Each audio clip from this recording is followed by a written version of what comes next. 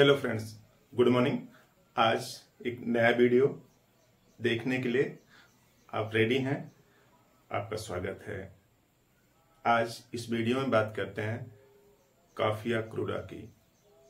काफिया क्रूडा के सिम्टम्स की ओरिजिन कैसे है, उसको समझते हैं। किन किन लक्षणों को क्योर करती है, ठीक करती है, उसको भी समझ लेंगे। और अंत में इसको देखेंगे कि कैसे यूज़ करेंगे काफिया क्रूडा का बेहतरीन मेडिसिन है। छोटी सी वीडियो में काम की बात समझ में आने वाली है। तो वीडियो अंत तक देखिए, कुछ नया इंफॉर्मेशन आपको मिल ही जाएगा। तो देखिए, जो काफ़ी है और चाय है, दोनों एक दूसरे के सगे संबंधी हैं, यूँ समझ लीजिए। चाहे आप चाय पीते हैं या फिर काफ़ी दोनों के केमिकल मोरालेस एक ही जैसे हैं। चाहे काफ़ी का कैफीन हो, या फिर चाय का थीन हो। दोनों बॉडी में जब जाते हैं तो फाइनली कन्वर्ट हो जाते हैं यूरिक एसिड में। मेटाबॉलिक प्रोसेस के थ्रू कन्वर्ट हो जाते हैं यूरिक एसिड में। और चाय और काफ़ी पीने से यूरिक एसिड धीरे धीरे शरीर में बढ़ता है। तो जिनको भी यूरिक एसिड की समस्या है, वो लोग काफ़ी और चाय ज़रूर पीना बंद कर दें। और खास तौर से हिदायत उनको है, जिनकी उम्र 40 प्लस है तो लोग तो ज़रूर ही बंद कर दें। अन्यथा बॉडी में कुछ ऐसे सिम्टम्स आ जाएँगे, ऐसी बीमारियाँ आ जाएँगी जिनका क्योर फिर नहीं है, इससे घुटना खराब हो जाएगा। या फिर ये जो यूरिया बढ़ता है ना, यूरिक एसिड बढ़ता है ना तो खतरनाक तरीके से किडनी को अफेक्ट करता रहता है। और बाद में क्रेटिनिन यूरिया भी बढ़ने की संभावना बनती है। तो यूरिक एसिड प्राइम इंडिकेटर है कि बाद में ऐसा कुछ होने वाला है। तो चाय और काफ़ी में कॉमन ये है कि दोनों अंत में, शरीर में यूरिक एसिड बढ़ाने में हेल्प करते हैं, या नुकसान करते हैं। और और सिमिलरिटी क्या है? कि ये जो चाय और काफ़ी है, इनके जो केमिकल है, जो ब्रेन है, या यूँ समझ लीजिए बॉडी है, उसकी फंक्शनल एक्टिविटी को बढ़ा देते हैं। थोड़ी देर के लिए ही बढ़ाते हैं बस, हमेशा के लिए नहीं। तो जो काफ़ी और चाय के केमिकल ब्रेन की फंक्शनल एक्टिविटी को बढ़ा देते हैं। यानी कार्य करने की जो इंटेंसिटी है उसको बढ़ा देते हैं।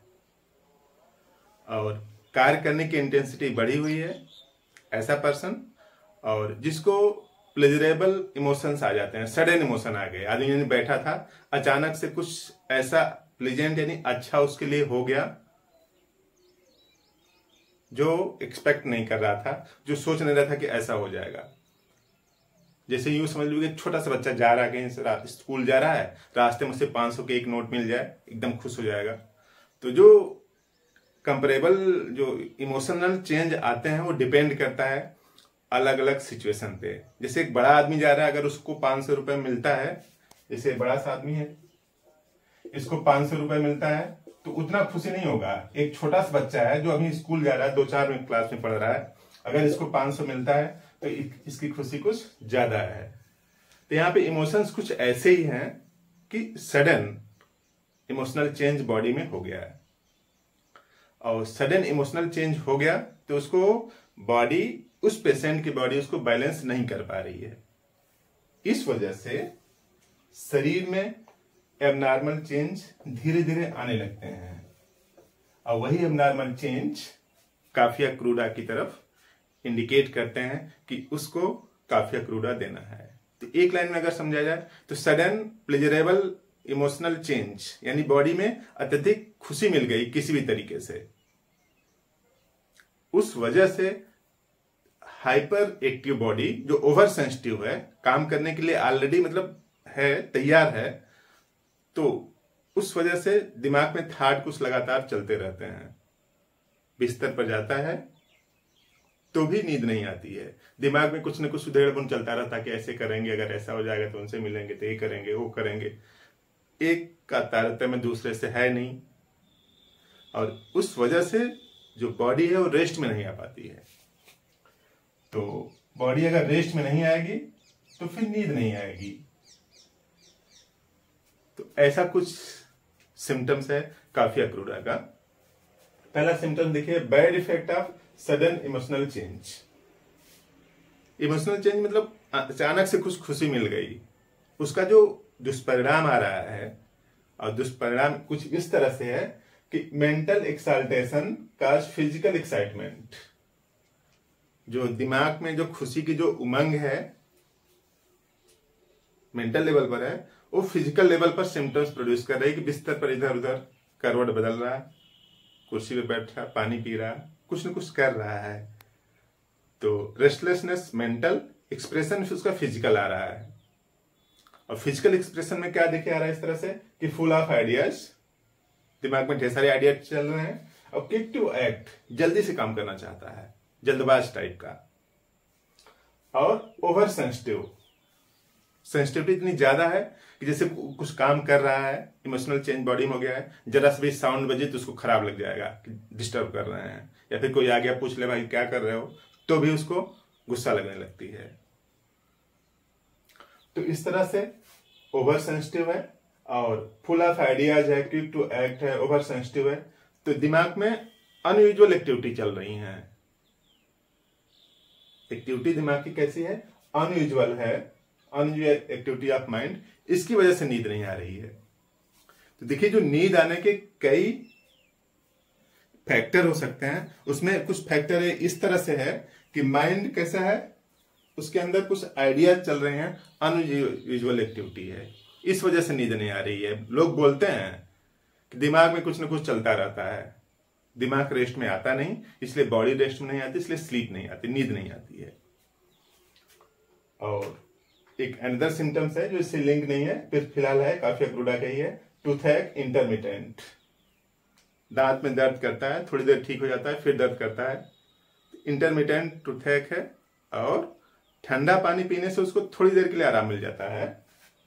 Jerking relieve by holding ice water in mouth ठंडा पानी पीने से थोड़ा सा आराम मिल जाता है। और जो वो पानी मुँह में ही गर्म हो जाता है, फिर दर्द स्टार्ट हो जाता है। तो जो काफिया क्रूडा का जो केमिकल है, वो इसकी जो फैमिली है, काफिया क्रूडा की जो फैमिली है, यानी जिस परिवार से बिलोंग करता है, उसी परिवार से चाइना बिलोंग करते हैं और इपीकैक और एक काफिया। तीनों एक ही फैमिली के हैं। यानी यूँ समझ ले कि छोटे बड़े भाई बहन हैं। तीनों में इंटरमीडियंट पेन है या फीवर है। थोड़ी देर के लिए दर्द आएगा, फिर कम हो जाएगा, फिर दर्द आएगा, फिर कम हो जाएगा इस तरह से। तो इन तीनों का यही फीचर्स है। तो अनयूजल एक्टिविटी की वजह से अगर नींद नहीं आ रही है, जैसा कि काफ़ी लोग होंगे आपके नियर बाय में, कि उनको नींद नहीं आती गहरी नींद नहीं आती, दिमाग में कुछ चलता रहता है। क्विक टू एक्ट मतलब थोड़ा सा कुछ बाहर शोर हुआ तुरंत जग गए, उठ के बैठ गए। यही ओवर सेंसिटिविटी है।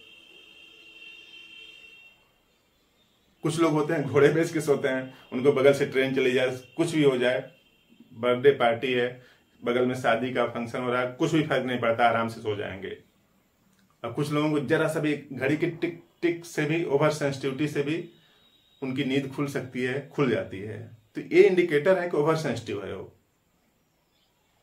अगर ऐसा है तो उसको काफ़ी क्रूडा से आराम आएगा। अब किसी भी होम्योपैथिक मेडिकल स्टोर से आप काफिया क्रूडा ले सकते हैं।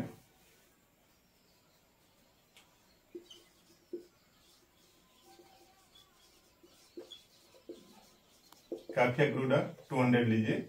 इसको सुबह और रात को चार बूंद लीजिए जीप पर। काफ़ी अक्रूडा सुबह और रात को चार बूंद जीप पर लीजिए। पंद्रह से बीस दिनों तक लीजिए। तो इस काफ़ी अक्रूडा से जो अनयूजल एक्टिविटी है, जो ओवर सेंसिटिविटी है माइंड की, वो नॉर्मलाइज हो जाएगी नॉर्मल लेवल पर आ जाएगी। और ये जो दिमाग में कुछ न कुछ चल ही रहा है, वो भी रिलीफ होगा, नींद अच्छी आने लगेगी। और नींद अच्छी आएगी तो डाइजेशन सही होगा, पेट में गैस कम बनेगी तो शरीर का पोषण होगा एनर्जी होगी। नींद छह घंटे लगभग, छह से सात घंटे तक आना ज़रूरी है ब्रेन को बेहतर तरीके से काम करने के लिए। तो इस तरह से काम की बात पसंद आई। इस वीडियो को लाइक कर दीजिए, शेयर भी कर दें। कई लोग ऐसे हैं जिनको नींद नहीं आती है इस धरती पर। अनगिनत लोग हैं जिनको ठीक से नींद नहीं आती है। अगर आप सो पाते हैं तो ये बेहतर करेक्टर है आपका। आप लकी हैं। तो आपने पूरा वीडियो देखा। Thank you.